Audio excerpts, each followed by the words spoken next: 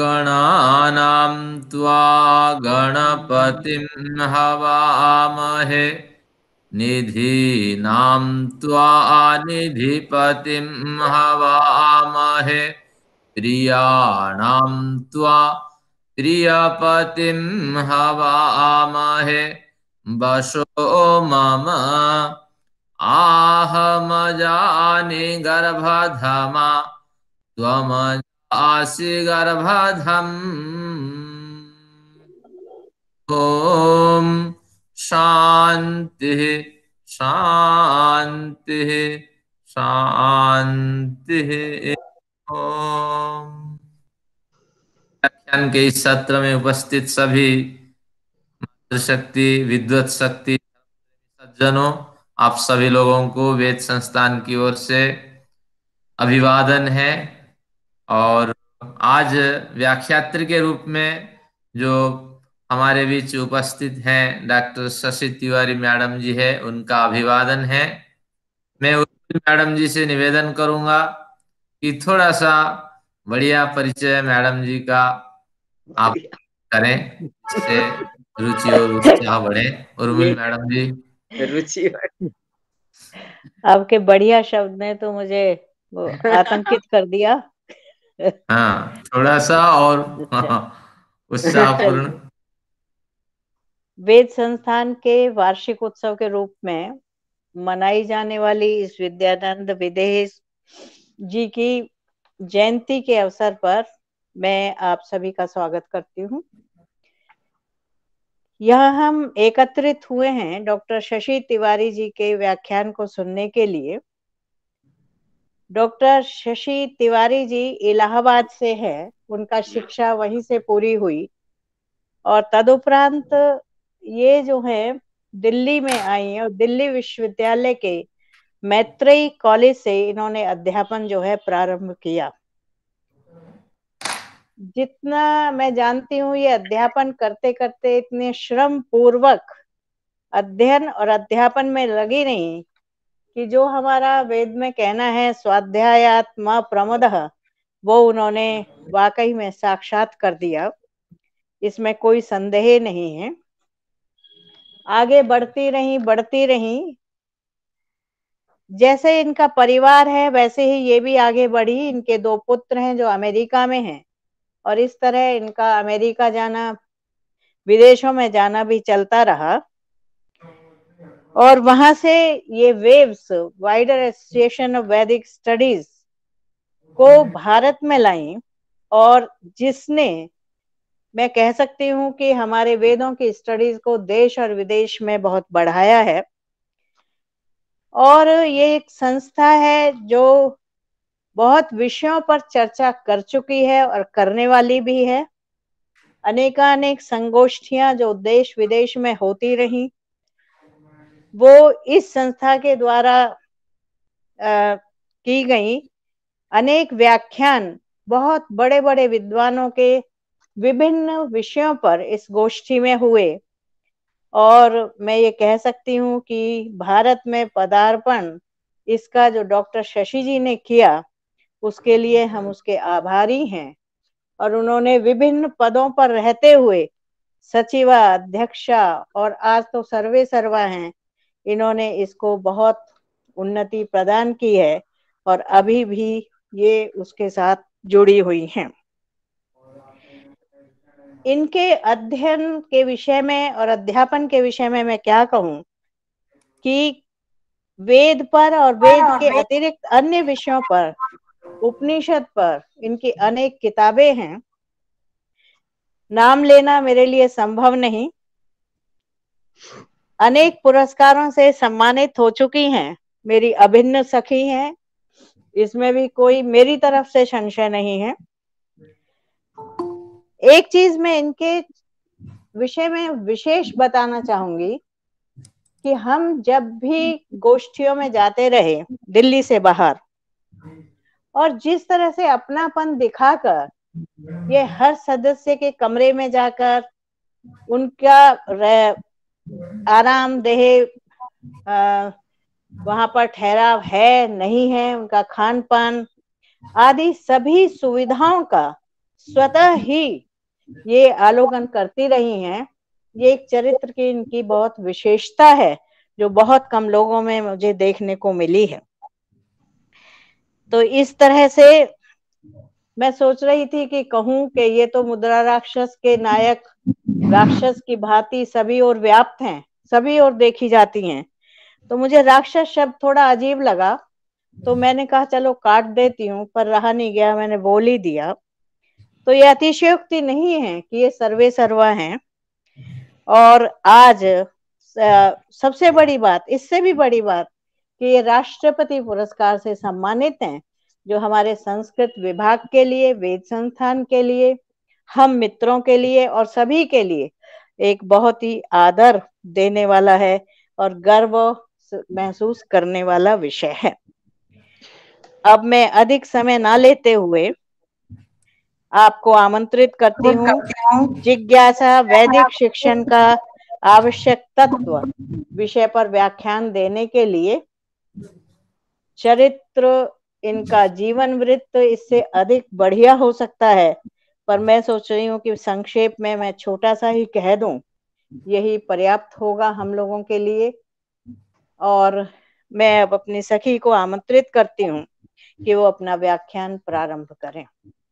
Doctor Shashi Tiwari, विषय जैसे मैंने बताया, जिज्ञासा, वैदिक शिक्षण का आवश्यक तत्व। और हाँ एक चीज़ और कि ये विषय जो इन्होंने लिया है, ये बहुत ही बढ़िया विषय है, क्योंकि आज जिस तरह से हमारी शिक्षण पद्धति चल रही है, हो सकता है कि वैदिक शिक्षण के कुछ तत्व सुनकर, समझकर हम अपनी शिक्षण पद्धति को संभाल सकें, बेहतर कर सकें। तो आइए डॉक्टर शशि तिवारी जी, हम आपका व्याख्यान सुनने के लिए बहुत इंतज़ार कर रहे हैं बहुत देर से। और मैं अब आमंत्रित करती हूँ डॉक्टर शशि तिवारी जी को। आप आए और अपना व्याख्यान प्रारंभ करें। ओम याम मेधाम देवगण पितरश्चोपास्ते। तया माम मध्य मेधया अग्ने मेधाविनम कुरु। याम मेधाम देवगण पितरश्चोपास्ते। तया माँ मध्य मेधया अग्ने मेधाविनम कुरु। ओम। सर्वप्रथम तो मैं डॉक्टर उर्मिल रुस्तगी जो हमारे माननीय भी हैं और सखी भी हैं, उनके लिए इतने सुंदर शब्दों में परिचय देने के लिए मैं आभार प्रकट करती हूँ। तदोपरांत मैं ये कार्यक्रम स्वामी विद्यानंद विदेह जी की जयंती के उपलक्ष्य में हो रहा है, इसलिए मैं उन्हें भी अपनी प्रणामांजलि देती हूँ। मेरी, उनके पुत्र डॉक्टर अभय देव जी से बहुत मेरे, बहुत ज़्यादा उनके प्रति मेरे हृदय में आदर रहता है और उनके सुझाव से उनके कहने से भी थोड़ा उनसे निर्देशन से उनके परामर्श से मैंने जो वेद व्याख्या पद्धति ग्रंथ लिखा तो उसमें मैंने स्वामी विद्यानंद विदेह की जो व्याख्या पद्धति है उस पर भी कम से कम ढाई तीन पेज कुछ सम, मैटर सम्मिलित किया जिसके लिए मैं वेद संस्थान से कुछ ग्रंथ भी लाई थी। तो मुझे आज वो याद आ रहा है कि एक आधुनिक समय में एक अलग व्याख्या पद्धति के प्रवर्तक स्वामी जी रहे हैं और हम लोग उनसे, उनकी परंपरा में थोड़ा रह के कुछ सीखे भी हैं। दास जी उसका कार्य आगे बढ़ा रहे हैं। प्रद्युम्न शमना शर्मा जी आगे बढ़ा रहे हैं और हम लोग उसमें सहयोग कर रहे हैं। तो इन्हीं शब्दों के साथ मैं उन्हें बहुत बहुत अपना प्रणाम अर्पित करती हूँ। सभा में उपस्थित सभी भाइयों बहनों को भी मैं अपना नमस्ते और प्रणाम कहती हूँ। जैसा कि विषय यहाँ पर आपको पता ही लगा, लग गया है, मेरा विषय है जिज्ञासा वैदिक शिक्षा और इंग्लिश में है inquisitiveness and important Indic Vedic learning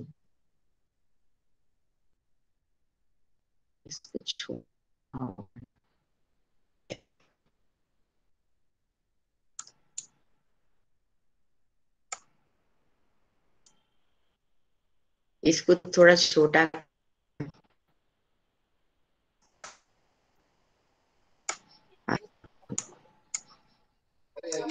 इसमें इस पत्र में ये दिखाने का प्रयास किया आप लोगों को ये दिख रहा है स्क्रीन हाँ जी मैडम दिख रहा है। हाँ स्क्रीन दिख रहा है। पीपीटी का दिख पर डबल दिख रहा है। हाँ तो इसमें मैंने ये खाने का प्रयास किया है। उधर वाला मैं बंद करना चाहती हूँ। कैसे करूँ मैं ठीक है। अब कट रहा है। ठीक। चलने दीजिए फिर आपके स्क्रीन आगे पीछे हो अच्छा। जाएँगे। कोई ऐसे आप ये स्क्रीन मैक्सिमाइज करने की कोशिश करिए उधर का देखिए स्लाइड आपकी तो जो प्रेजेंटेशन स्क्रीन है उसको मैक्सिमाइज करने की कोशिश करिए।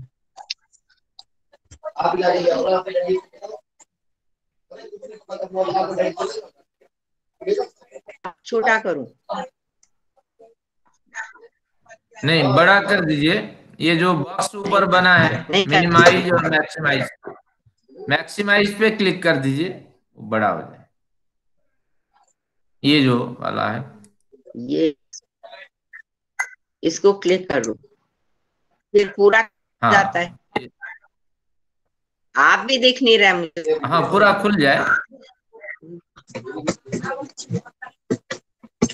नहीं और लोग मुझे देख नहीं रहे ना। नहीं कोई फ़र्क नहीं पड़ता। हम लोग आपको देख लेते हाँ, तो इसको आप बड़ा कर दीजिए। नहीं वैसे ये काफ़ी बड़ा है दिख मुझे रहा है। तो ठीक ठीक दिख रहा है। मुझे आप लोग नहीं देख रहे। और लोग ना दिखे उससे तो कोई फ़र्क नहीं पड़ता। और लोग ना दिखे उससे कोई फ़र्क नहीं पड़ता। अच्छा। आपकी स्क्रीन मैक्सिमाइज रहेगी वही बेस्ट रहेगा। अच्छा। ठीक है। तो ये मैं इसकी प्रस्तावना के रूप में बता रही थी कि जो हमारा भारतीय साहित्य है उसमें ज्ञान के अनेक अनेक परंपराएँ हैं। There are so many intellectual traditions और इसीलिए शिक्षा की और उनको पढ़ने की अनेक प्रणालियाँ भी आजकल चलती हैं। और ये दो दो स्प्रेन हो रहे हैं ना। बहुत गड़बड़ हो रहा है। ये मुझे तो दो दो स्क्रीन दिख रहा है ना। हम्म। ये आपके पावर पॉइंट में शशि जी आपके पावर पॉइंट में ऊपर स्लाइड शो पे क्लिक करिए। ऊपर लिखा है स्लाइड शो ऊपर नहीं नीचे। ऊपर है नीचे। नीचे भी ऑप्शन है उसका कहीं से भी कर सकते हैं। ऊपर होम के बाद इंसर्ट फिर डिज़ाइन फिर ट्रांजिशन एनिमेशन और फिर स्लाइड शो है उस पर क्लिक करिए। उसको बंद करूँ? बंद मत करिए स्लाइड शो पे क्लिक करिए ऊपर स्लाइड शो और और राइट में स्लाइड शो पर क्लिक करिए राइट में जाइए आप राइट में। होम के बाद में आपको डिज़ाइन दिख रहा है इंसर्ट दिख रहा है स्लाइड शो छठा छठा है स्लाइड शो छठा या सातवां। Transition animation slide show A A वाला। हाँ ठीक। हाँ। हाँ इसको क्या करूँ? क्लिक करिए। क्लिक कर दीजिए। हाँ ठीक है। अभी अब सबसे लेफ़्ट में जो ऑप्शन आ रहा है फ्रॉम बिगिनिंग और उसके बाद में है from current slide from current slide पे क्लिक करिए। लेफ़्ट में लेफ़्ट में। हाँ इस पे क्लिक करिए। करिए क्लिक करिए। ऐसा है शशि जी हमें तो सारी स्लाइड नज़र आ रही है नंबर वाइज अब ठीक है। हाँ अब हो गया। हाँ तो सारी नहीं आनी चाहिए ना। अब इसको बहुत बड़ा हो रहा है। अब ये सही है यही सही है। अच्छा ठीक है। मैं मगर आप लोगों को नहीं देख पा रही। हम आपको सुन पा रहे हैं वो महत्वपूर्ण है। हमें सारी स्लाइड्स नज़र आ रही हैं। मुझे देख पा रहे हैं। हाँ। ठीक है। अभी चलिए, टाइम आपको नहीं भी देख सकते आपको भी देख पा रहे हैं आपकी स्लाइड्स भी देख पा रहे हैं। अभी तो आप मेन है ना अभी तो आपका प्रवचन चलेगा फिर बाद में आप इसको फिर मिनिमाइज कर ठीक है ठीक है देखते हैं। तो मैं ये बता रही थी कि हमारे भारतीय जो साहित्य है, उसमें अनेक शिक्षा प्रणालियाँ प्रचलित हैं और अनेक तरीके भी बताए गए। जैसे उदाहरण के तौर पर, चाणक्य ने नौ स्टेप्स बताए हैं, जिनमें शुश्रूषा, श्रवण इत्यादि है। सामान्य रूप से हम श्रवण, मनन, निधि ध्यासन की बात करते हैं और बाद सभी प्रणालियों में बहुत महत्वपूर्ण होता है। कहने का मतलब ये है कि जो भी शिक्षा प्रणाली होगी, उसमें जिज्ञासा एक बहुत ज़बरदस्त तत्व है। एक शर्त की तरह है, जिसके बिना शिक्षा प्रारंभ ही नहीं होगी, या सिखाना प्रारंभ ही नहीं होगा। ऐसा क्यों हुआ? क्योंकि शास्त्र जो है, उनको पढ़ना एक बहुत गंभीर बात है, और उनको एक क्रमबद्ध तरीके से रखा जाता है उनके सिद्धांतों को, तभी उनको शास्त्र कहते हैं, और डॉक्यूमेंटेशन इसको कहते हैं इंग्लिश में तो समस्त सिद्धांत, किसी भी जैसे दर्शन है, कोई भी एक दर्शन है, उसके समस्त सिद्धांत तरीके से आबद्ध करना और फिर उनको समझना है। इसलिए ये बहुत सरल चीज़ नहीं है। तो जब तक उस, जानने की जिज्ञासा नहीं है शिक्षार्थी में या विद्यार्थी में, गुरु उसको शिक्षा देना नहीं शुरू करते थे। तो ये वो जानना चाहते थे कि इसको आखिर आता कितना है और ये क्या जानना चाहता है। तो इसी को शब्द दिया जाता है संस्कृत में जिज्ञासा। ज्ञा धातु है जानने के अर्थ में और सन प्रत्यय जानने की इच्छा जिसमें है, भाव को जिज्ञासा कहते हैं। इसी तरह से और भी शब्द आपने सुने होंगे, जैसे पीने की इच्छा को हम प्यास को पिपासा, मोक्ष की इच्छा को मुमुक्षा तो जो भी इच्छा के साथ क्रिया होती है, उसको वो ये इस तरह का सन प्रत्यय लगाते हैं। तो जिज्ञासा शब्द में ज्ञा धातु है, उसमें है। यानी की उस स्टूडेंट में, उस शिष्य में जानने की इच्छा है कि नहीं? ये गुरु जी को या जानना होता है, हमारे यहाँ शास्त्र या वेद के अध्ययन की तभी बात शुरू होती है। मतलब वो कैसे कैसे जानेगा, जानने कि इसमें जिज्ञासा है या नहीं? इसलिए सामान्य तौर से या ज़्यादातर जो शिष्य है वो ही पहले बोलेगा, वही बोलेगा। और जब वो बोलेगा या प्रश्न पूछेगा तो जो वो पूछता है, उससे गुरु जी को, उसके मन का, उसके पीछे की पृष्ठभूमि का, उसके अंतकरण की, दिमाग की पृष्ठभूमि की थोड़ा सा आभास मिल जाएगा और ये भी उन्हें जान में आ जाएगा कि इसको आ, आ, आता क्या है। ये भी उनको पता लग जाएगा और जानना क्या चाहता है। तो दोनों दो चीज़ें एक पीछे की एक आगे की एक साथ उनको समझ में आ जाएँगी। ऐसा ये सब इसलिए बहुत ज़रूरी है आजकल चाहे ना भी हो क्योंकि आजकल वो सर्टिफिकेट या डिग्री लेकर आ जाते हैं और अगली कक्षा के दाखिले के लिए। पहले तो ऐसा नहीं था ना। इसलिए जो भी उसके पास ज्ञान है, उससे आगे के ज्ञान के लिए ये जानना ज़रूरी है कि इसको पहले से कितना आता है। तो जिज्ञासु कुछ इस प्रकार से सोचता है, ना अहम मन्य सुवेदिति, नो ना वेदेति वेद च। उपनिषद से ये है। मैं ऐसा समझता हूँ कि मैं जानता नहीं हूँ, लेकिन ऐसा भी नहीं है कि मैं नहीं जानता। क्योंकि मैं जानता भी हूँ और नहीं भी जानता। यानी कि वो जो भी जिज्ञासु है उसको ऐसा कुछ है कि उसे थोड़ा तो पता है लेकिन अभी और जानना है उसको ये भी पता है। और कैसे और क्या जानना है कितना जाने इसके लिए उसको आचार्य की तलाश होती है तो वो आचार्य के पास जाता है। थोड़ा सा इसी बात को कि गहरी चीज़ है गह, हमारे उपनिषद उनके बारे में ह्यूम ने लिखा कि उनकी, उनमें ट्रुथ को ढूंढना इतना सरल नहीं है। सत्य की खोज करना, वेदार्थ की खोज करना, वेद के मंत्र हैं तो वेदार्थ को समझना ये सब सरल नहीं है। इसके लिए बहुत इच्छा वृत्ति की भी ज़रूरत होती है। प्रश्न से इसका क्या संबंध है? जो मैंने बताया कि प्रश्न करेगा। तो प्रश्न से इसका संबंध है, हमने देखा है कि कोई भी बड़े से बड़ा आविष्कार हो, वो भी जिज्ञासा मूलक होता है। पहले जिज्ञासा होगी तभी उसका आविष्कार होगा। अभी जैसे हम कोरोना का प्रसंग बीमारी का प्रसंग ले सकते हैं। वैक्सीन की खोज क्यों हो रही है? क्योंकि उसका उससे पहले कुछ है और उसके बाद का कुछ होना चा, चाहते हैं इसलिए कर रहे हैं। तो ये एक मनुष्य का स्वाभाविक गुण है। जिज्ञासा से ही बड़े बड़े खोज होते हैं। जिज्ञासा उसका गुण है। अगर वो गुण है तभी वो कर पाएगा। और बच्चे को ही हमने छोटे देखा है कि वो बोलने की पकड़ने की जानने की ये सब इच्छा करता है।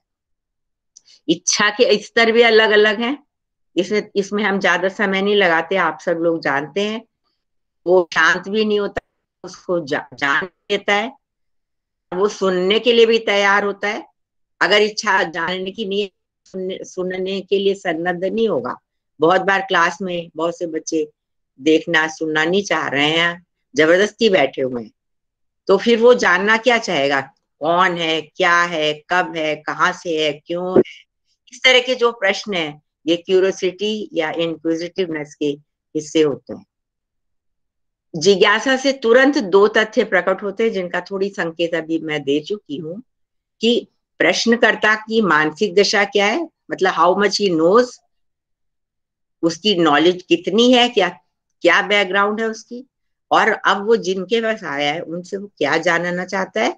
यानी what is the subject of his question what is what he wants to know what he knows and what he wants to know ये दोनों बातें प्रश्न के द्वारा ही पता लग जाती वार्तालाप का इसीलिए बहुत महत्व है। इसके लिए वैदिक विधि में शर्तें भी हैं।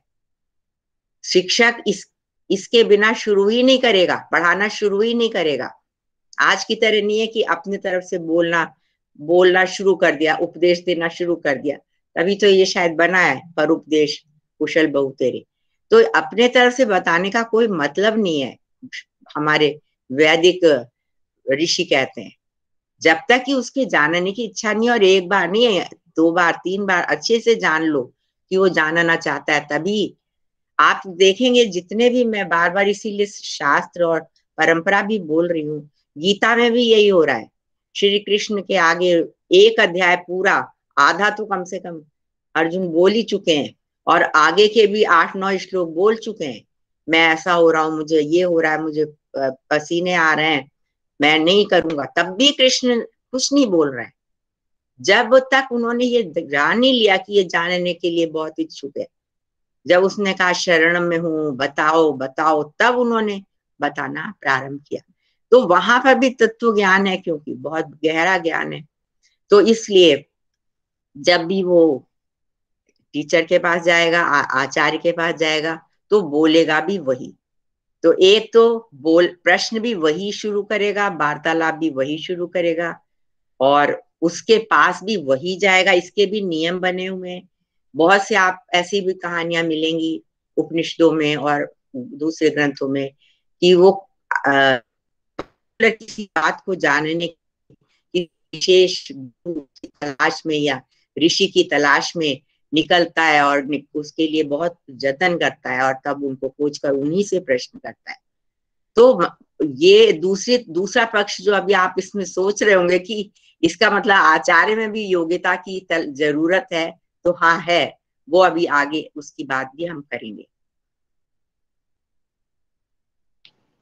ये जानने की इच्छा होगी किसे? इसका अर्थ क्या निकल रहा है? इसका अर्थ ये निकल रहा है कि जो कुछ जानता है और कुछ और जानना चाहता है, यानी कि जो अज्ञानी है, उसको तो नहीं होगी। मतलब बिल्कुल जो, बिल्कुल भी नहीं जानता उस विषय में, जरा भी नहीं जानता। जैसे वेद, उसको पता ही नहीं है, वेद शब्द का पता नहीं है, वेद ग्रंथ का पता तो वेद के अर्थ को जानने जो अज्ञानी है, जो उस विषय से अनटच्ड है, उसमें इच्छा नहीं होगी।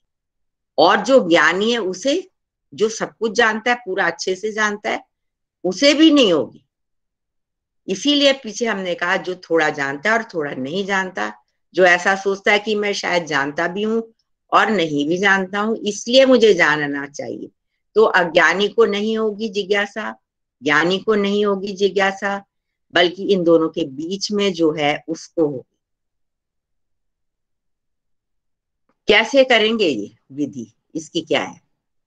बताया गया कि चिल्ला चिल्ला के नहीं होगी। जैसे हम लोग आजकल कर रहे हैं डिस्टेंस से नहीं होगी। डिस्टेंस तो खैर उसमें रखना पड़ रहा है।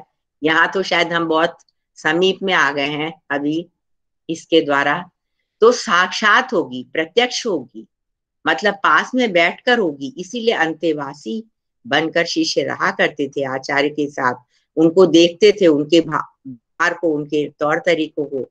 फिर उनके साथ सुबह, कभी शाम, कभी दोपहर, जिस समय, जिस चीज़ के को पढ़ने से समझ में आता है उसको पढ़ना। फिर जब बीच बीच में प्रश्न भी करते चलना और वो गुस्सा भी नहीं करेंगे। जब भी वो प्रश्न करेगा, उसको उसका उत्तर देंगे। अगर एक बार उन्होंने उसे अपना शिष्य मान लिया है और प्रोसेस शिक्षा का शुरू हो चुका है तो। शिक्षा का लक्ष्य क्या है? वे, वेद के से ही हम अगर निकालें तो अज्ञान से ज्ञान की ओर जाना जिसको हम कहते हैं तमसो माँ ज्योतिर्गम है। पहले माँ कहते हैं तमसो माँ ज्योतिर्गम है। हम अंधेरे में नहीं रोशनी में जाएँ। कुछ लोग इसका अनुवाद कर देते हैं हम हम रोशनी में जाएँ अंधेरे में नहीं ये गलत अनुवाद है। तमसो माँ ज्योतिर्गम है। मृत्यु माँ अमृतम गम है पहले जो निषेध वाला है, वो लेना है। उधर नहीं इसमें जाए। पहले अज्ञान से हटेंगे तो ज्ञान में जाएँगे। तो ये लक्ष्य है हमारा। अज्ञान को भी जानना पड़ेगा, अपने अंदर है क्या? अज्ञान। और उसको हटाते हुए ज्ञान में जाना। दूसरा बताया गया, उभे श्रेयमश्नुयात ब्रह्मच क्षत्र उभे श्रेयमश्नुयात। दो तरह की शक्तियाँ हमारे अंदर होती हैं। चाहे कोई भी किसी भी वर्ग या जाति या देश, प्रदेश का हो, ब्रह्म और क्षत्र। ब्रह्म का अर्थ है, संक्षेप में, बौद्धिक क्षमता, क्षत्र का अर्थ है शारीरिक क्षमता। इन दोनों को ही श्री प्राप्त हो उभे श्रेय मश्न्यात, यजुर्वेद कहता है। इमम में ब्रह्म च क्षत्र च उभे श्रेय मश्न्यात। दोनों श्री को प्राप्त करें। दोनों शोभा वर्धक हो, दोनों अधिक से अधिक चमकदार, तेजस्वी बने। तो ये शिक्षा के लक्ष्य है या कि जो पढ़ाई हो रही है उसके लक्ष्य हैं। अब हमारा विषय शुरू होता है छात्र की विशेषताएँ क्या है और आचार्य की विशेषताएँ क्या कौन बन सकता है स्टूडेंट दो उसकी करेक्टरिस्टिक्स हैं ऊपर लिखी हुई है जिज्ञासु और वैराग्यवान। पहले तो जो चीज़ पढ़ना है उसको जानना है उसके अतिरिक्त जो चीज़ें उनसे निवृत्त होना है।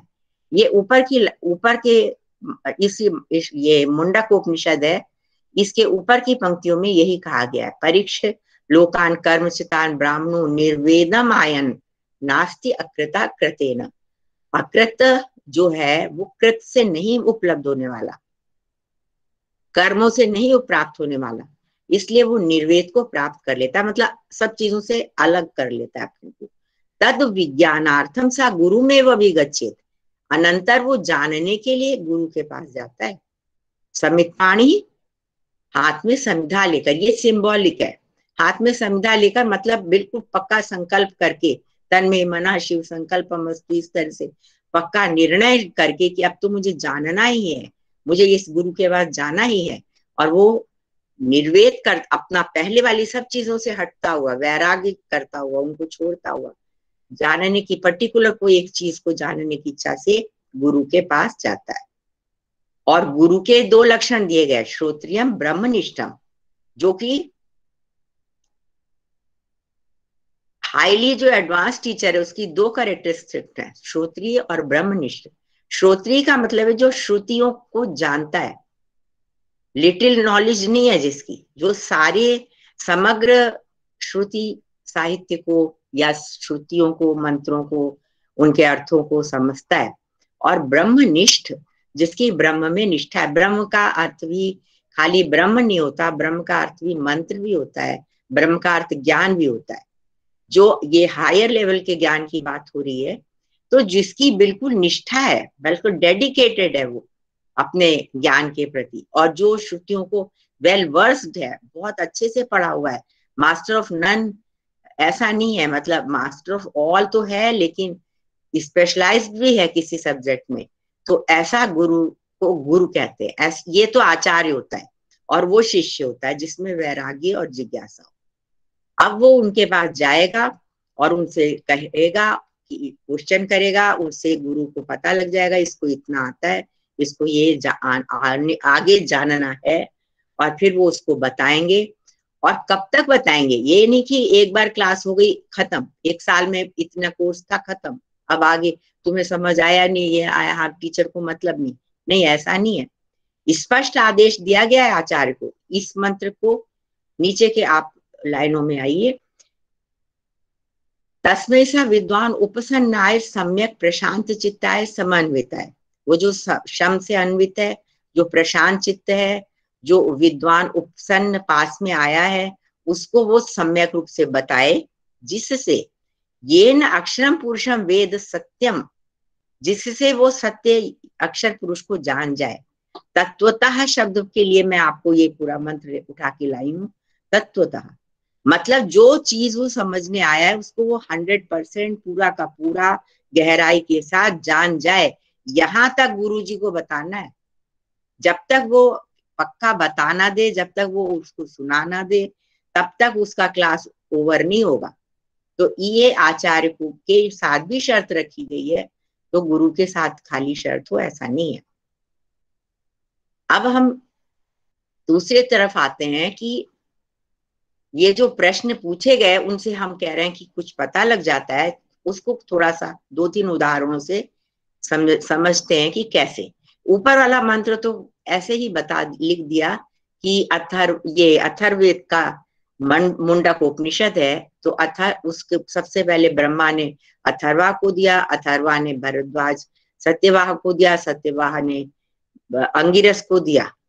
ये अब, ये बहुत ही गहरी गहरी बात है, जो कि शायद कुछ लोग समझते होंगे कि हमारे यहाँ जो ज्ञान है, वो कोई क्लेम नहीं कर रहा है वेदों में, कि इसने, इसका ज्ञान है। नहीं, हर कोई यही कह रहा है कि हमें इससे मिला, हमें इससे मिला, हमें इससे मिला।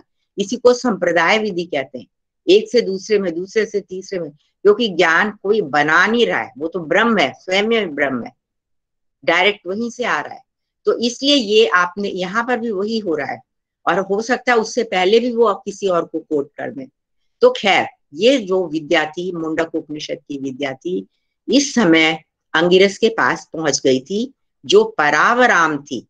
बहुत पर भी को भी लेती है और अवर को भी लेती उसके, उनके पास उन अंगिरस के पास, जो कि आचार्य कोटि के आचार्य हैं, एक दिन शौनक महाशाल पहुँचते हैं। महाशालो शौन शौन कहा। महाशाल जो है, ये भी बड़ा एडजेक्टिव बहुत सोचने वाला है। शाला जो है, वो घर को कहते हैं, मकान बिल्डिंग तो उनका बहुत बड़ा महल है मतलब बहुत बड़ी, या उनका कुल है, या उनका गुरुकुल होगा कुछ ऐसा है जो कि भाष्यकारों ने कहा कि हज़ार तक के वहाँ पर छात्र भी रह सकते मतलब थे। इस तरह से भी कहते तब भी उन्हें जिज्ञासा हो रही है, शौनक है वो। शौनको हावे महाशालु, जिनका बहुत बड़ा है, शौनक। सन्ना प्रपंच। एक विधि के साथ जो भी विधि बताई गई है, वैसे ही जो हम पीछे करके आए हैं होना चाहिए, जिज्ञासु होना चाहिए, मन में बिल्कुल निश्चय करके वो अंगिरस के पास पहुँचते हैं और उनसे प्रपंच उनसे पूछते हैं। देखिए, प्रश्न उन्हीं को करना है जो जानने के लिए आया है। और प्रश्न है, वो क्या है? वो कहता है कस्मिन भगवो विज्ञाते, नीचे छुप रहा है, सर्वम इदम विज्ञातम भवती। इतना सा प्रश्न है वो। कस्मिन भगवो विज्ञाते, सर्वम इदम विज्ञातम भवती। कस्मिन विज्ञाते किसको जान लेने पर? इदम सर्वम विज्ञातम भवती। यह सब कुछ जान लिया जाता है। प्रश्न भी कोई छोटा मोटा सरल सा प्रश्न नहीं है। एक वचन में वो कह रहा है कस्मिन भगवो विज्ञ भग, हे भगवान हे सर या महोदय कस्मिन विज्ञाते किसको जान लेने पर? मतलब किस किस एक तत्व को? एकम एक वचन है। किस एक तत्व को जान लेने पर? इदम सर्वम विज्ञातम भवती। यह सब कुछ, और ये जो सब कुछ को वो इशारा कर रहा है, वो नाना है, बहुत है, विविध है मल्टीपल टाइप्स का है, नाना प्रकार का है। और वो जिस, जिसको पूछ रहा है क्वेश्चन में, वो तो एकम में कह रहा है, वो एक वचन में कह रहा है। तो वो, उसने कहा, यहाँ पर प्रश्न रखा है कि ये सारा कुछ, यानी कि ये सारा प्रपंच, सृष्टि का प्रपंच, जगत का प्रपंच जिसको जान लिया जाएगा, अगर किसी एक को जान लिया जाएगा तो। अब वो एक कौन है, ये हमारा प्रश्न है, उसके बारे में आप बताएँ। देखिए, जो प्रश्न करता है उसको कितना पता है? बहुत बड़ी चीज़ तो उसको ऑलरेडी पता है कि एक एक कोई है जिससे ये अनेक बना है। द सोर्स इज़ वन और ये जो बना है, ये मल्टीपल टाइप का है और ये बना है। बना में भी एक बड़ा साइंटिफिक रूल होता है साइंस भी वही करती है, दर्शन भी वही करता है कि अगर कार्य, कारण से कार्य की उत्पत्ति हो रही है तो वो कार्य नश्वर होगा ही होगा। तो जो भी चीज़ होती है, बनती है, वो कार्य होती है और वो नश्वर होती है, चाहे वो कितने ही रूप धारण करे। जैसे ये जगत है, ये अगर है, कहीं से आया है तो ये नष्ट भी होगा। और वो जो जिससे आया है, वो उस छात्र को पता है कि वो एक है। तो उस एक के बारे में बताएँ। तो इनडायरेक्टली वो ब्रह्म के बारे में क्वेश्चन कर रहा है, इस विविध जगत का कारण एक, उस कारण ब्रह्म को विस्तार से जानना चाहते हैं। क्यों? क्योंकि जैसे कि हम देखते हैं दुनिया में, समुद्र जो है, अगर उसके बारे में जान लिया जाए, समुद्र को समझ लिया जाए तो सारी लहरों के बारे में, सारी उसके अंदर जो तरंगे उठ रही हैं बबल्स उठ रहे हैं, जो फेना आ रहा है सबके बारे में जाना जा सकता है। या गोल्ड को जान लो, स्वर्ण को जान लो तो स्वर्ण के सारे आभूषणों की जो भी तरीका साइंस है, वो जानी जा सकती ऐसे मिट्टी के उदाहरण भी देते हैं। कुम्हार की दुकान पे अनेक तरह की चीज़ें हैं, सुराही, घड़ी, गमला इत्यादि। लेकिन सबकी प्रकृति, सबके बारे में हम समझ सकते हैं, अगर हम मिट्टी को समझ जाए। तो कारण जो है, उसको अगर हम जान जाते हैं तो अपने आप कार्य को जान जाते हैं। तो वो जो कारण इतना गंभीर, परम कारण एक कम है तो एक तत्व है। नासदी में भी आप देखिए, एक कहा गया तब सस्तन महिमा अजायत एकम। वो एक उत्पन्न हुआ, सबसे पहले वो, तपस की महिमा से स्वयं से हो गया। क्योंकि वो तो किसी से हो नहीं रहा है ना, वो तो कार्य नहीं है। वो एकमात्र कारण है, स्वयं से हो रहा है। तो हम उसी को एब्सल्यूट एनर्जी या एब्सल्यूट पावर या ब्रह्म या कुछ भी नाम से कहते हैं, उससे ये अनेक बन रहा है और वो स्वयं में है, स्वयं से है तो उसके बारे में वो प्रश्न कर रहे हैं। तो इतनी सारी चीज़ें वो जानने वाले हैं, शौनक और अब अंगिरस को उसके आगे बताना है। तो ये एक ही प्रश्न से इतनी सारी बातें खुलती हैं। इसी तरह से कठोपनिषद, जिस पर थोड़े दिन पहले यहाँ पर व्याख्यान भी हो रहा था, डॉक्टर उर्मिल रुस्तगी जी का उसमें तीन वरों के मांगे गए नचकेता के द्वारा यमाचार्य से। और दो वरदान जब हो जाते हैं, वो सहर्ष दे देते हैं। उसके बाद तीसरे वरदान में वो एक प्रश्न पूछते हैं, जो कि प्रथम का बीस नंबर का है। मतलब किताब अभी बहुत सारी बची हुई है, अभी बीस श्लोक तक पहुँचे और वहाँ बीसवें मंत्र में वो ये प्रश्न रखता है। अब देखिए, इस प्रश्न से यमाचार्य ऑलरेडी दो वरदान दे चुके हैं। उसका बालक का, उस उनको मानसिक अवस्था, उसकी बौद्धिक अवस्था का उनको समझ आ चुका है। फिर भी उन्होंने अपनी तरफ़ से कुछ भी आगे बोला या बताया नहीं कि ये यहाँ तक आया है तो इसको कुछ समझा भी दिया जाए। नहीं।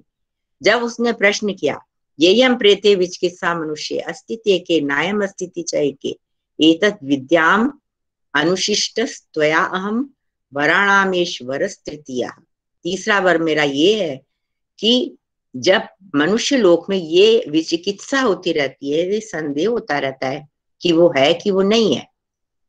मतलब मरने के बाद आत्मा रहता है कि आत्मा भी शरीर के साथ खत्म हो जाता है। अस्थि नास्ति, ये बना रहता है संदेह। दो तरह के लोग हैं वहाँ पर, जो कुछ कहते हैं अस्थि, कुछ कहते हैं नास्ति। तो आप जरा कृपा करके मुझे इसके बारे में बताएँ। यानी कि उसको बहुत कुछ पता है, काफ़ी कुछ पता है, दोनों मतों का भी पता है खुद। शायद उसे थोड़ा अस्थि वाला भी पता है, क्योंकि वो अपने पिताजी को बोल के अभी आया था कि शस्य के समान फ़सलें जैसे कट के उगती हैं, वैसे ही मन उगते हैं, दोबारा से मनुष्य तो आप चिंता ना करें ज़्यादा, मैं वापस आ सकता हूँ। तो इस तरह से वो बोल कहा हुआ है उसने, लेकिन फिर भी, क्योंकि पृथ्वी पर संदेह है तो मैं ये प्रश्न करना चाहता हूँ। आपको इसके आगे की कथा याद होगी कि वो बहुत सारे प्रलोभन देते हैं, प्रलोभन देते हैं। फिर भी वो नहीं मानता है और अंततः वो यहाँ तक प्रलोभन देते हैं, जो कि बड़ा इंटरेस्टिंग सा है कि तुम जितना चाहोगे, उतना जी लोगे, ये मैं तुम्हें वर दे सकता हूँ।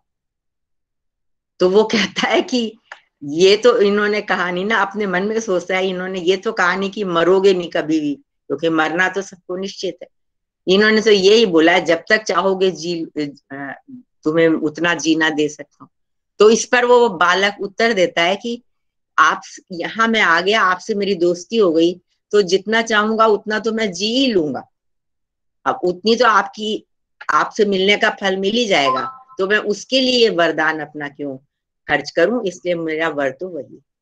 तो ये परीक्षा हो रही है, जो जिज्ञासा वाला पॉइंट है, उसके लिए हो रही है कि इज़ ही वेरी सीरियस और नॉट ये उनको जानना है। ये कितना सीरियस है सचमुच में?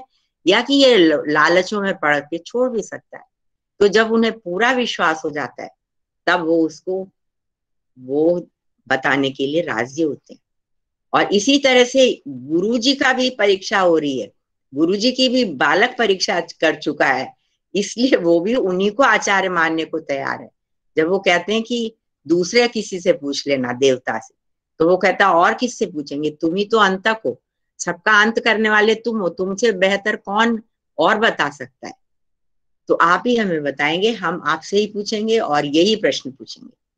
तो इस, ये जिज्ञासा जिसको हम लोग कह रहे थे और जिसको प्रश्न के द्वारा, एक प्रश्न के द्वारा ही कितना उसको आता है क्या चाहता है वो जानना स्पष्ट हो रहा है। तीसरा जो है वो केनोपनिषद से ले सकते हैं, उसमें भी पहला प्रश्न से ही शुरू हो रहा है।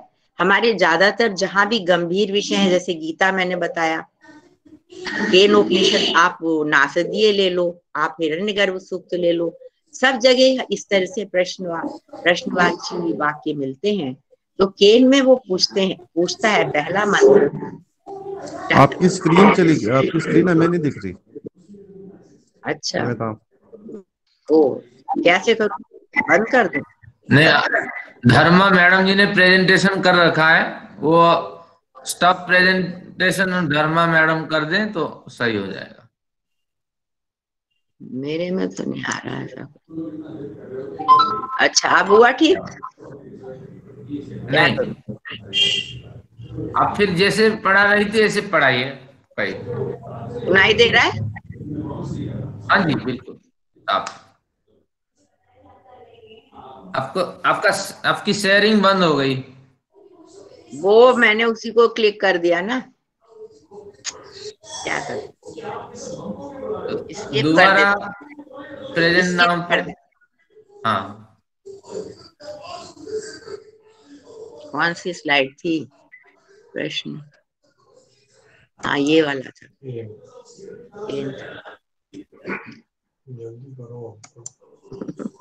कैसे करूँ? चलो अभी आपको ऐसे दिखाते हैं। ये वाले दिख रहे हैं आपको सब?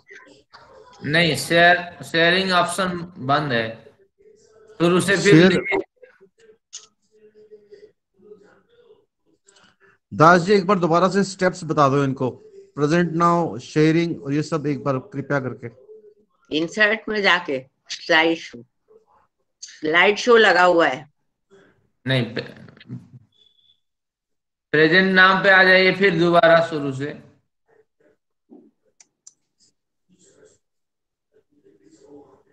अच्छा ठीक है। इंटायर स्क्रीन हो गया। हाँ जी। और इसके बाद एक स्क्रीन आएगी। सेंटर पे क्लिक करके शेयरिंग ऑप्शन चूज़ करिए।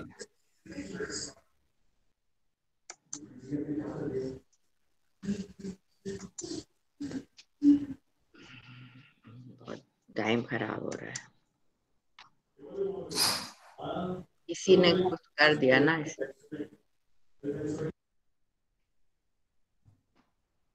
कैंसिल करने को कह रहा है वो। तो स्टॉप शेयरिंग कहीं ऑप्शन दिख रहा है, देखिए आपको। जो मिनिमाइज हो जो रखे हैं फाइलें उस पर क्लिक करके देखिए।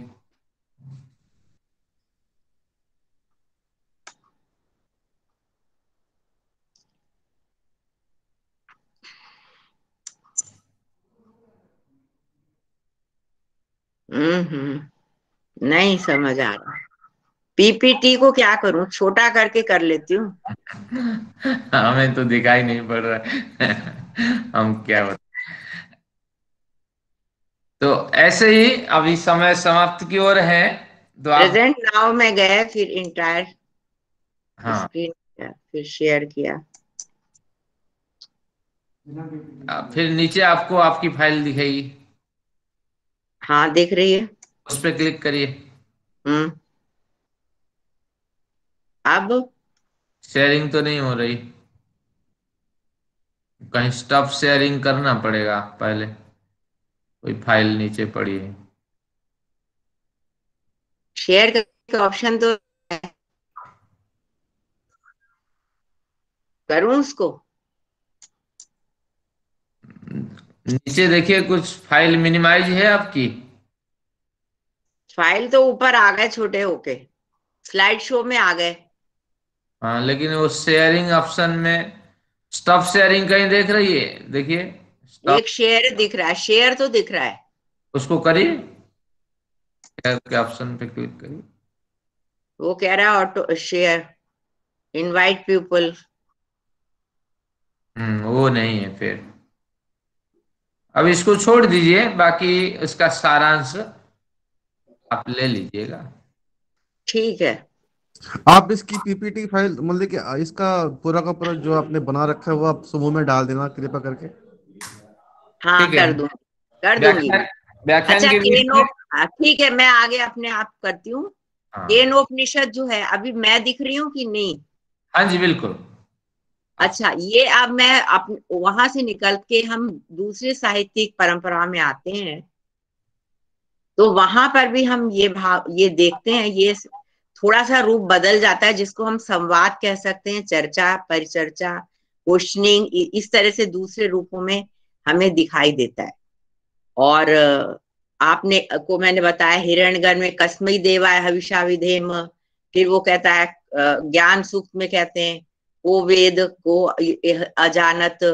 तो इस तरह से ये पर, दूसरे प्रश्नात्मक शैली भी एक चलती है। सबसे इसका अच्छा उदाहरण संवाद का या डायलॉग जो है, उसका या डिबेट भी कह सकते हैं आर्ग्यूमेंटेशन भी कह सकते हैं, उसका उदाहरण गार्गी और याज्ञवल का जो संवाद है बृहदारण्यक में, उसको माना जाता है। निरुक्त में निरुक्त में भी हमें ये दिखाई देता है। निरुक्त में जब देवता लोग ऋषि ऋषि जाने लगते हैं डिपार्टिंग फ्रॉम द अर्थ तो लोग उनसे कहते हैं कि हमें अब अर्थ कौन बताएगा? आप ही तो दृष्टा है। तो आप चले जाएँगे तो हमें अर्थ कौन बताएगा? तो वो लोग कहते हैं कि कोई चिंता की बात नहीं है। आज के बाद तर्कम ऋषि प्रेत तर्क करेंगे, विमर्श करेंगे, चिंतन करेंगे, जो जैसे अभी हम लोग बैठ के यहाँ पे कर रहे हैं। डिबेट करेंगे, बातचीत करेंगे, इसी से अर्थ तक पहुँचने का प्रयास करना। तो इस तरह से संवाद शैली को या चर्चा को विमर्श करने को बहुत महत्व दिया गया है। दर्शन में तो ये हमें दिखाई देता है। गीता का मैंने उदाहरण आपको बताया, उसके अंदर भी भगवान कृष्ण कहते हैं, परिप्रश्न न सेवया, प्रश्न करो, उसके ऊपर प्रश्न करो और जब तक तुम्हारी जिज्ञासा शांत ना हो जाए। अगर एक बार आचार्य ने तुम्हें अपने अधिकार में ले लिया है तो जब तक उनका, उनसे तुम्हें वो समझ में ना आ जाए। उनको छोड़ना मत। और आइए, देखते हैं दर्शन में दर्शन में आइए। आप मीमांसा दर्शन का प्रथम सूत्र आपको ध्यान होगा। अथा तो धर्म जिज्ञासा। वो स्टार्टिंग हो रही है। धर्म की अब जिज्ञासा करते हैं। अब ये जो अथ लिखा है, अथ धर्म जिज्ञासा। धर्म की जिज्ञासा करते हैं। मतलब धर्म को एग्जैक्टली exactly जानने का की इच्छा करते हैं। और इसी तरह से हमारा जो वेदांत दर्शन है, उसका प्रथम सूत्र है अथा तो ब्रह्म जिज्ञासा। अब ब्रह्म की जिज्ञासा करते हैं। लेकिन यहाँ पर आप थोड़ा सा थोड़ा सा पॉज दें और समझ लें तो हमें ये समझ आ रहा है कि जब उसने अर्थ अर्थ कह रहा है सूत्र का तो इसका मतलब वो ये कह रहा है कि कुछ तो है जो पहले से वो जान रहा जान रहा है। जब वो कहते हैं ना, अब करते हैं तो अब का मतलब है कुछ हो चुका, उसके बाद अब करते हैं।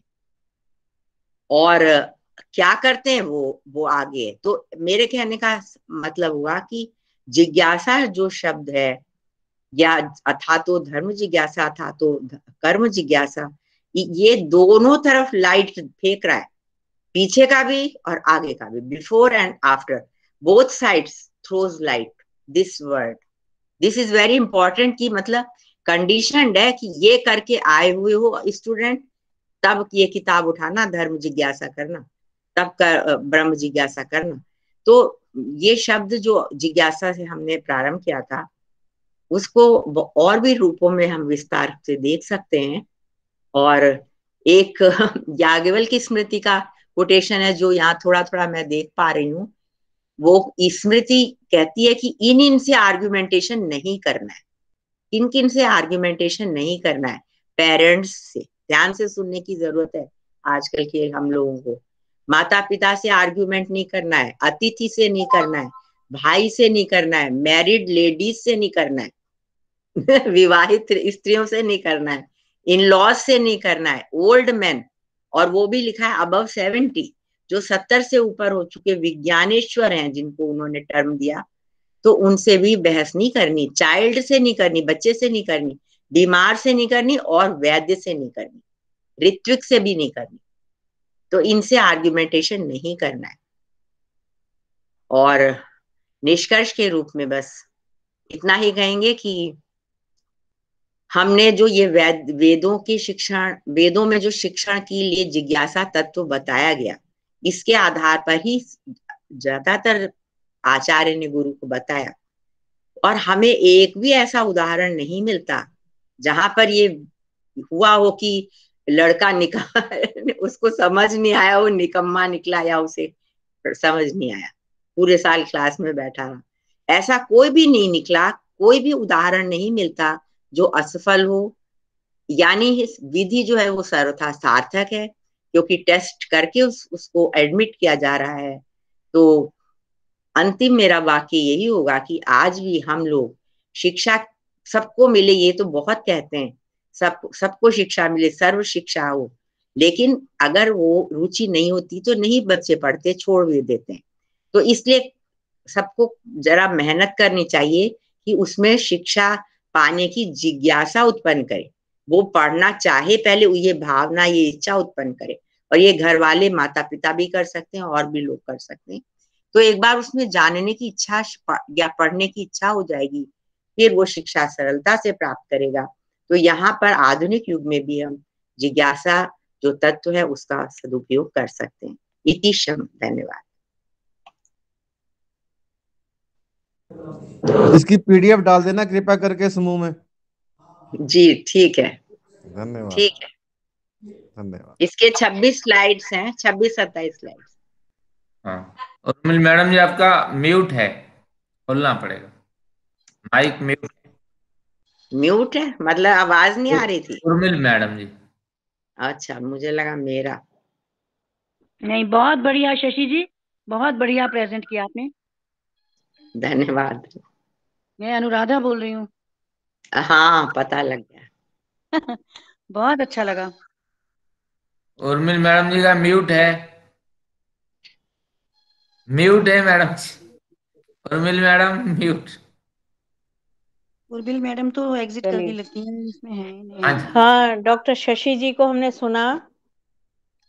और जिस तरह जिज्ञासा पर उन्होंने व्याख्यान दिया बहुत ही लुभावना था। और हमें बांधे रखा कुछ एक टेक्निकल डिफिकल्टीज आई पर उस पर ध्यान देने की आवश्यकता नहीं है। सबसे बढ़िया बात है कि बौद्धिक क्षमता और शारीरिक क्षमता जो ब्रह्म और क्षत्र का जो स्वरूप बताया, यम ने जब ये नचिकेता यम के पास जाता है तो वो कहता है, ब्रह्म और क्षत्र, हे यम, तेरे दोनों ओदन है। यानी सारे तो तूने समेट के रखा हुआ है, तुम तो तुम्हारे ओदन है, जब तक ब्रह्म और क्षत्र को तुम खोलोगे नहीं, हमारे समक्ष हम उसको शेयर नहीं कर सकते। तो तुम्हें ही ज्ञान इसका देना है, ब्रह्म का भी और क्षत्र का भी। तो ये बहुत ही सुखद वातावरण में हुआ है, इसमें कोई शक नहीं।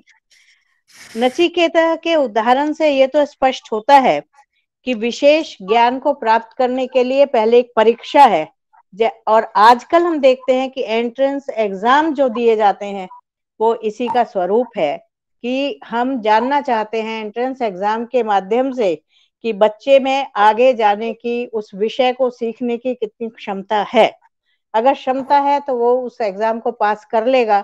अगर क्षमता नहीं है तो कहीं ना कहीं उसके मस्तिष्क की रुकावट जो है, वो सामने आ जाएगी।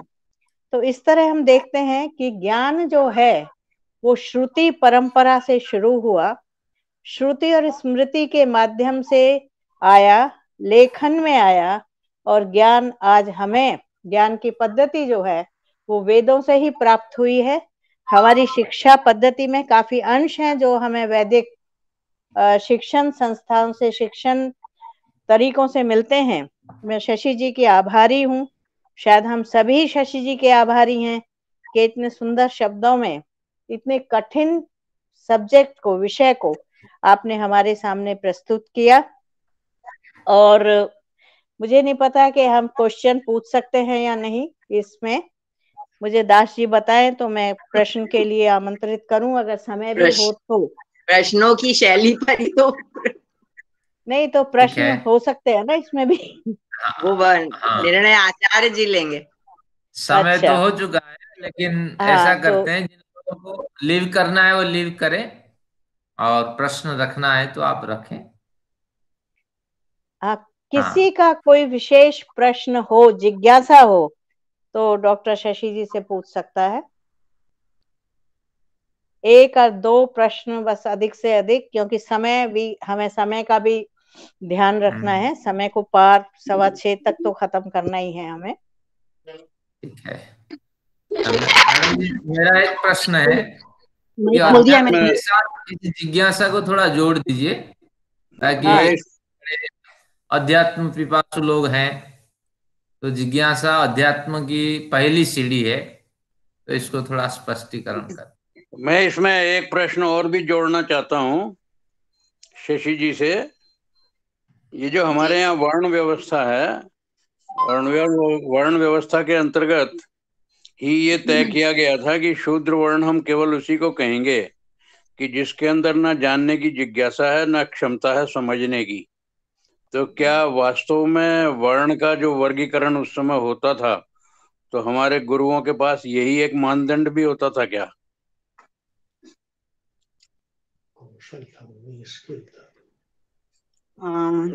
थोड़ा वैसा क्वेश्चन है, क्योंकि मैं तो मानती हूँ कि वर्ण व्यवस्था का कुछ और ही स्वरूप है वेदों में।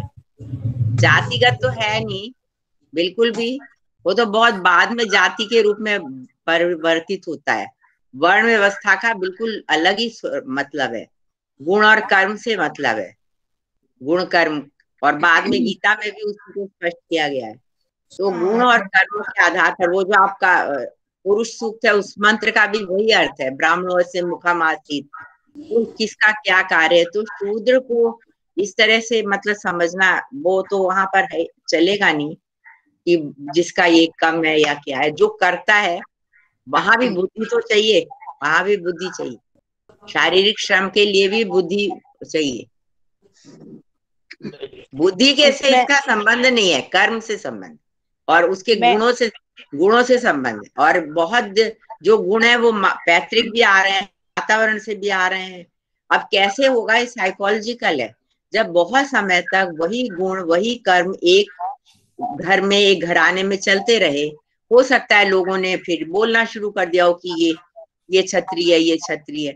अब अब छत्री नहीं है, तब भी बोले जा रहे हैं ये छत्री। है तो ये मतलब इस तरह से कन्वर्ट हुआ, ये एक अलग विषय है, बिल्कुल जाति अलग, मेरे अनुसार जाति व्यवस्था में बदल जाता है बट वो जाति व्यवस्था अलग है, वर्ण व्यवस्था।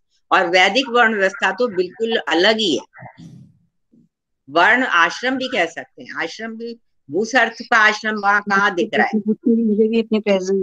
शशि जी। आपने जो पहला मंत्र कोट किया था कि ब्राह्मण जो है समित प्राणी जाए समित पाणी ही। शिक्षा के लिए जाए तो वह ब्राह्मण शब्द आया है। ब्राह्मण तो जहाँ भी आ रहा है। कि वो नहीं थी वहाँ पर वर्ण व्यवस्था? मैं नहीं मान रही ना। ब्राह्मण का जहाँ भी अर्थ हो रहा है वहाँ उसका वो अर्थ है जो ब्रह्म का अर्थ लेना है ना। जो ज्ञान का इच्छुक है ज्ञान ज्ञान को चाहता है वो ब्राह्मण। ब्राह्मण विद्वान। तो ब्राह्मण उस अर्थ में तो है ही नहीं वहाँ मतलब ही नहीं बनता बिल्कुल भी। ब्राह्मण को यहाँ पे विद्यार्थी भी क्या, क्या कहा जा सकता है। बल्कि मेरे ख्याल से तो जब ये मनुस्मृति और वहाँ तक हम जाते हैं वहाँ तक भी ब्राह्मण का मतलब वेद पाठी जो भी वेद पढ़ रहा है पढ़ा रहा है वो ब्राह्मण कर रहा है जाति से तो हो नहीं रहा है। तो जी और आपका प्रश्न तो अध्यात्म इत्यादि पे आपने कहा ना जी क्या आध्यात्म विषय होगी दास जी ने कहा। हाँ जी। शशि हाँ, जी तो मेरा मेरे को एक पूछना है कि क्या बिल्कुल सही कह रहे हैं है? आप। कितनी तरह की छोटी छोटी बातों की जिज्ञासा हो सकती है। ये जो पहला प्रश्न किया गया है ना उसमें ये है कि निरक्षरता थी या शिक्षा नहीं थी मनु के समय से पहले, कुछ शिक्षा का अभाव रहा था तो मनु ने हर व्यक्ति को शिक्षा के लिए आमंत्रित किया है। उसने कहा है कि 24 वर्ष का मैं समय देता हूँ, तुम गुरुकुल आओ और अध्ययन करो। और जो नहीं आएगा 24 वर्ष तक तो वो शूद्र कहलाएगा। यानी 24 तो बहुत बड़ी उम्र होती है तो इस तरह से शूद्र जो है प्रारंभ हुआ है और इसी को पुरुष सूक्त में इसलिए कहा है, पदभ्याम शूद्रो अजायत। कि तुम मतलब इतना नीचा गिर गए हो, इतना नीचा, मैं पैरों को नीचा नहीं कह रही, पर एक मतलब संकेत बता रही हूँ कि तुम शिक्षा की ओर ध्यान ही नहीं दे रहे हो, शिक्षा की ओर जा ही नहीं रहे हो। इतना सब गुरु लोग कह रहे हैं, आओ आओ आओ, और तुम नहीं जा रहे हो तो शूद्र तुम कहलाओगे। मतलब ये एक विषय हुआ है मनु में। हाँ आगे अनु, अनुराधा कुछ पूछ रहे थे? हाँ जी, मैं ये पूछना चाहती हूँ शशि जी या उर्मिल जी, जो भी या दास जी, जो भी जवाब दें, कि जैसे हम सुनते हैं कि जिज्ञासु कई टाइप के हैं तो वेदों में इसके मंत्र, इसकी पुष्टि करते हैं या नहीं? जैसे कि एक तो होते हैं जिज्ञासु की वो ज्ञान की पिपासा लेकर आते हैं कि हमें ये बात जाननी है और वो उत्सुकता से सुनते भी हैं समझने की कोशिश भी करते हैं।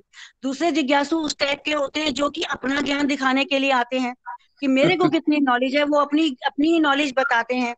तीसरे होते हैं जो गुरु की नॉलेज टेस्ट करने के लिए आते हैं कि इनको कुछ आता भी है या नहीं आता है। तो ऐसे जो है इस टाइप के हम सुनते हैं क्या वेदों में ऐसे है या नहीं है? नहीं तो ऐसा नहीं। दो जिज्ञासु नहीं है। पिछले दो को जिज्ञासु नहीं कह सकते आप। अच्छा जी और हाँ, तो ज्ञान धातु है खत्म जाएगा। जानने की इच्छा ज्ञान धातु है ज्ञान जानने के लिए जो आता है आपने कहा ना अध्यात्म तो अध्यात्म ने समझदारी का उच्च कोटि का ज्ञान छोटी मोटी बात जानने के लिए नहीं लेकिन जिज्ञासा वहाँ भी चाहिए छोटी बात जानने के लिए भी चाहिए ये कौन सी भाषा बोल रहा है ये क्या कर रहा है? तो मगर वो ज्ञान रखे अध्यात्म वाला जो हम जिस संदर्भ में बोल रहे थे वो हायर नॉलेज ही था उसको जानने के लिए। ये जो शूद्र और ये ब्राह्मण वाला है ना ये बहुत मेरे मेरे अपने आप में बहुत क्लियर है अपने को मुझे बहुत क्लियर है। और ये लोगों ने इतना फैला फैलाया। अच्छा मनुस्मृति ही एक स्मृति नहीं है दूसरी स्मृतियाँ भी हैं। और जब ये शुरू होता है तो पैंतीस स्मृतियाँ है। पैंतीस लोगों के अपने अपने दृष्टिकोण है। हर कोई अलग अलग याज्ञवल की रीति स्मृति, गौत स्मृति। अपने अपने तरीके अपने अपने मत दे रहा है। वहाँ पर भी तो आप मतांतर हो रहा है। हमारा मतभेद क्या हो रहा है? वहाँ पर ब्राह्मण, क्षत्रिय वैश्य शूद्र को लेके मतभेद हो रहा है। तो ये ओरिजिनली वेद में तो बिल्कुल भी जाति से कोई मतलब ही नहीं है। ब्राह्मण मुझे, यहाँ पर भी जब ब्राह्मण शब्द आया तो मैंने ब्रह्म जानाती से ब्राह्मण, वही अर्थ करती हूँ मैं। ब्रह्म का हमने, मैंने अर्थ ही बताया, ब्रह्मनिष्ठ होना चाहिए। ब्रह्म का मतलब ज्ञान, ब्रह्म का मतलब वेद, ब्रह्म का मतलब नॉलेज तो इनमें ब्राह्मण शब्द जो ग्रंथ है, ब्राह्मण ग्रंथ, उनमें भी ब्रह्म का अर्थ वही होता है। ब्राह्मण जाति वहाँ पर नहीं हो रही है। तो वेद, वैदिक वांग में तो चारों जातियों का लेना ही नहीं है। लेना ही नहीं है। हाँ तो ये तो मनु में भी जब ब्राह्मण का वो बताते हैं ना कर्म अध्ययन अध्यापन यजन याजन यही बताते हैं। आठ तरह के कर्म बताते हैं। हाँ और क्या? तो अच्छा एक और दृष्टि से तो ब्राह्मण वही है। उर्मिल जी आपको ध्यान होगा जो शुल्क पढ़ाया जाता था बीओ में तो उसमें? आता था ब्राह्मण जो है उस पर टैक्स मत लगाओ। ब्राह्मण पर टैक्स मत लगाओ। तो वहाँ पर क्या एक्सप्लेन हाँ। करोगे जाति का ब्राह्मण उसको टैक्स मत लगाओ। तो मैंने हाँ, सब जगह यही लिखा वेद पाठी श्रोत्रिय ब्राह्मण। जो वेद को पढ़ा रहा है वो पहले उपकार कर रहा है। इसलिए उस पर टैक्स मत लगाओ। वो टैक्स तो इसलिए नहीं कि वो गरीब है एक्चुअली वो हाँ क्योंकि वो ज्ञान दे रहा है। वो हाँ, जो दे रहा है वो कोई नहीं दे रहा है। टीचर गरीब होते थे। तो ये बात है। इस तरह से बेचारे उसको कभी तो प्रवास का दंड भी दिया नीचा जाता। मानती नहीं मैं। वो कर्म कर्म जो कर रहा है। अभी कोई कहे हाँ। पैर छोड़ पैर छोड़ने को कहे तो हम पैर भी तो नहीं छोड़ेंगे। हम सिर भी नहीं छोड़ेंगे हम पैर भी नहीं छोड़ेंगे। हम हम चारों अंगों को बराबर महत्व देंगे। बिल्कुल। शशि जी एक हास्य वाला एक विचार मेरे मन में है। अगर आज्ञा हो तो बोलूँ। बोलिए। एक ना हमारे यहाँ पे है एक भटूरे वाली चाची। तो उसके भटूरे बहुत फ़ेमस हैं। तो जैसे उर्मिल जी ने आपके बारे में बोला ना बहुत लुभावने ढंग से बताया है। तो इसके ऊपर ये कहना चाहूँगा आपको भी हम कह सकते हैं कि मंत्रों का अ, अर्थ तड़का लगा के करने वाली चाची। कृपा करके ये सब मत बोलिए। ये सब फ़िल्मों के में चाची चाची होता है यहाँ। कि भाई लुभावनी बात है कि मुझे याद आ गया ऐसे कुछ लगा आपके अर्थ आपके आपने? आपके अर्थ? आपने मुझे कौन सी चाची बोला? मंत्रों का तड़का लगा के अर्थ करने वाली चाची। ऐसे ऐसे नहीं। नहीं इस तरह से उपमा नहीं दीजिए प्लीज़ अपशब्दम नहीं मैं मैंने पहले मैंने पहले ही कहा कि मैं सिर्फ़ हास्य के लिए आने हो चुका है क्षम्यताम कुछ अच्छा ना कुछ ठीक है not in good taste not in good taste समाप्त करते हैं आज बढ़िया प्रकरण रहा और स्पष्ट हुआ को सभी को नमस्कार मैं गुस्ताखी के लिए माफ़ी चाहूँगी। साढ़े चार से साढ़े पाँच योग की कक्षा होती है। मैं वे संस्थान में लिंक भेजती हूँ। और जो भी योग करना चाहे योग हमारे लाइफ स्टाइल के लिए बहुत ज़रूरी है। और बीच बीच में हम काफ़ी योग के बारे में बताते भी रहते हैं खान पान के बारे में। तो आप सब का अभिनंदन है स्वागत है। वेद संस्थान से लिंक लेकर आप जुड़ सकते हैं इसमें। धन्यवाद सभी का। चलिए अब समाप्ति की ओर है। मैं दास जी से लिंक या तो मैं एक अंतिम निवेदन लिंक या तो मैं डॉक्टर दास जी को भेज दूँगी या प्रद्युम्न जी को भेज दूँगी। ठीक है। अपना वो पीपीटी अपना पीपीटी। हाँ जी धन्यवाद जी। हमें मिले मिल जाएँगी तो हम भेज देंगे आपको। नहीं पीपीटी शायद पढ़ने में नहीं आता पीडीएफ फ़ाइल ज़्यादा उचित रहेगी। देख लेंगे जैसी व्यवस्था होगी। मैं आप आप दोनों में से किसी को भेजूँगी आप बदल देना। पीडीएफ में कर देना। ठीक है शांति पाठ दास जी। आइए शांति बात करते हैं। और इससे पूर्व एक सूचना मैं देता हूँ कि कल प्रोफेसर दिनेश चंद्र शास्त्री जी हरिद्वार के वेद विभाग के डीन हैं तो उनका व्याख्यान होगा। उनका बढ़िया ही रोचक विषय है। वेदों में मांसाहार और पशु हिंसा। बजाज साहब बैठे हुए हैं उनके लायक विषय। तो मांसाहार और पशु हिंसा की समीक्षा करेंगे कि वेदों में भी बहुत से ऐसे मंत्र मिलेंगे जिसमें पशु हत्या की बात हुई है। मांसाहार की बात हुई है। एक मंत्र तो ऐसे मिलता है कि पाँच बैलों को इंद्र ने पका करके खा लिया। तो ऐसे विवादित विषय है तो उनकी समीक्षा होगी और प्रबुद्ध विद्वान है। माने जाते हैं, जो वेद विभाग के डीन है तो उनको सुनेंगे, समय यही रखेंगे। आज थोड़ा समय में अंतराल हुआ, उसके लिए क्षमा प्रार्थी हैं। लेकिन हैं, विद्वानों के गान में आप रहे, उनके सानिध्य में रहे, ये सबसे बहुत बड़ी उपलब्धि है। आइए शांति पाठ करते हैं। कल के व्याख्यान की प्रतीक्षा करते हैं। ओम द्यौ शांतिरंतरिक्षम शांति पृथिवी शांतिरापः शांतिरोषधय शांति वनस्पतयः शांतिर्विश्वेदेवाः शांतिर्ब्रह्म शांतिः सर्वं शान्तिः। शान्तिरेव शान्तिः सामा शान्तिरेति ॐ शान्ति शान्ति शांति वैदिक अभिवादन, सभी को सब प्रेम नमस्ते। आज बढ़िया उपस्थिति रही, सफलता उनके है। ओम आप स्वस्थ और निरोग रहिए फिर कल मिलते हैं। एक समय है। पाँच से छः। पुनर्मिलाम पुनर्मिलाम